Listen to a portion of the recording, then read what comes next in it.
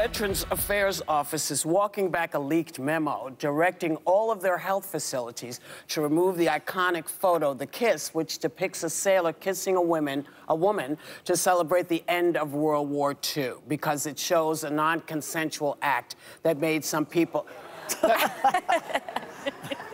Did I tell him to take it down? you don't know. And so in the past, the woman getting kissed in the photo admitted that the guy just walked up and grabbed her and kissed her, but said it was just a thank God the war is over kind of thing. Right.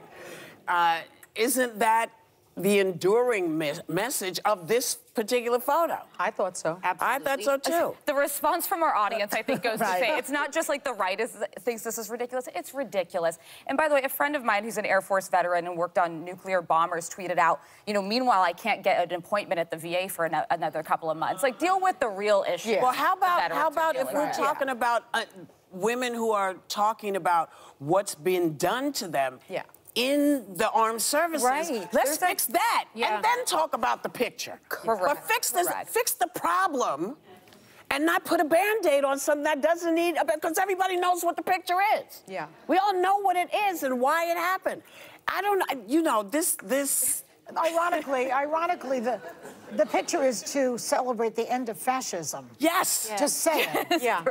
well, right. it's frustrating to hear that because the overreach of this woman who I guess asked that this be removed was saying that people were experiencing trauma walking down the hallways. You work for the VA. These are people that literally have trauma in their lives. And you look at what trauma used to mean. These two people holding each other. By the way, I might feel different if the picture was like someone pushing oh, someone correct. up. Her arms are swept back and it's a moment of bliss. And we have led a privileged life not having, and I recognize the Iraq War, yeah. but the generations before us had Vietnam, the Korean War, World War II, World War I. Everyone's related to someone that was somewhere fighting on the ground none of us, not none of us, but in general, the consensus right now is people have the privilege to assign things like that to that photo. That photo was the end of something awful. Correct. And it was such a beautiful thing. And the people in the picture, mm -hmm. um, they're not alive anymore, but the daughter of one of them said they remained friends for years after that. It's yes. such an iconic, beautiful photo that talk about overcorrection and not focusing on the right things. Yeah.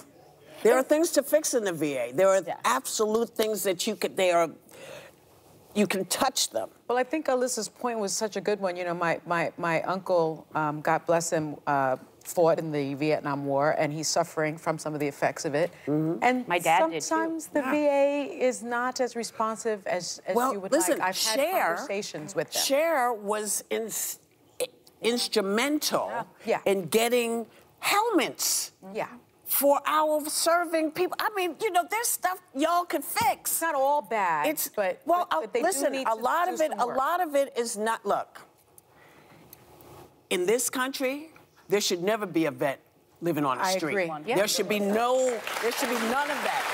Every person who fought for us should be able to get an, uh, that thing in a timely fashion. It shouldn't be this There's stuff. hard. No, it shouldn't be this hard. Yeah. So when we say, listen, think about the stuff that you could fix that is real. Yeah. That will have an impact on the very women you say you're trying to protect. Mm-hmm. Yeah. Do that. And then we'll talk about this picture. We can talk about all kinds of stuff, but if you have the ability to fix actual stuff, don't waste time like this because it pisses everybody off.